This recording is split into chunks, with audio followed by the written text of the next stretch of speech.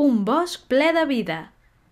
Els dinosaures són, indubtablement, les criatures més espectaculars de totes les que es van extingir al final del Cretaci, però representen tan sols un petit percentatge de les espècies de vertebrats que van existir en aquells temps.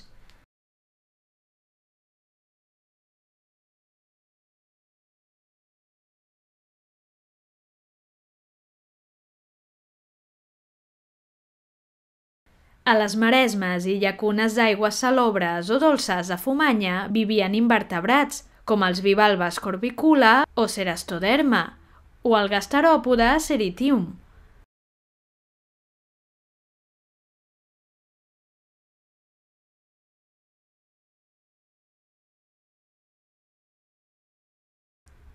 El registre fòssil també ens dona l'evidència que les aigües marines eren l'hàbitat de peixos cartilaginosos i ossis.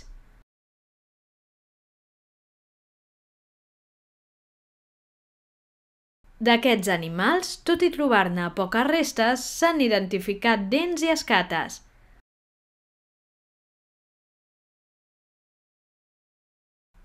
Una de les últimes troballes fetes és el fibló caudal d'una rajada.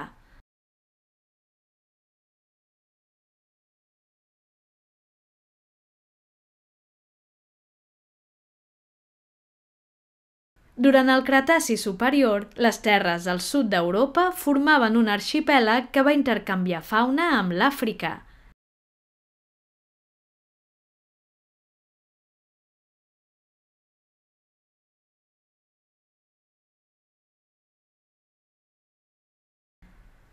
Alguns rèptils, com les tortugues, cocodrils i serps, van colonitzar el sud d'Europa procedents d'aquest continent.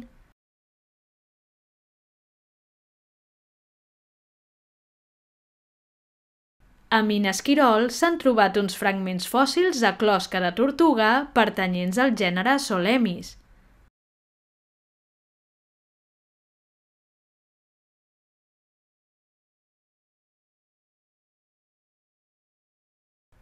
Estava adaptada per viure a terra ferma i també als marges de llacs d'aigua dolça.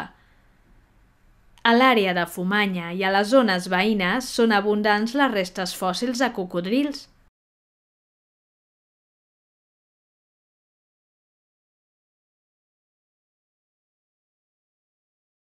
En diferents jaciments se n'han descobert vèrtebres, ossos a les extremitats i dents, i també petjades i ous d'una espècie anomenada Ayodhaposuchus palustris i és el representant més antic conegut a nivell mundial d'aquest gènere de cocodrils primitius, que es va originar a la península ibèrica i que més tard es va dispersar per tota Europa.